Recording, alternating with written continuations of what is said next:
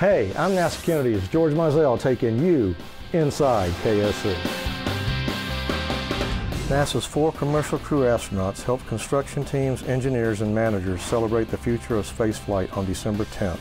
Bob Behnken, Eric Boe, Doug Hurley, and Suni Williams toured the White Room they will use as they board the CST-100 Starliner at the launch pad before liftoff. Positioned on the end of the crew access arm, the White Room will be tested for several months at its construction yard before being mounted to the crew access tower at Space Launch Complex 41.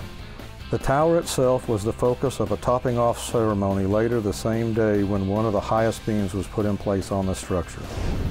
Steve Jurczyk, NASA's Associate Administrator for Space Technology Mission Director, took part in a demonstration in Orlando of the IDEAS system and development at Kennedy. The wearable computer system is meant to give engineers and others access to all the information they would need to complete a task. The integrated digital display would allow for environmental warnings and at-a-glance instructions throughout their work. And remember, Spaceport Magazine digs deeper inside KSC.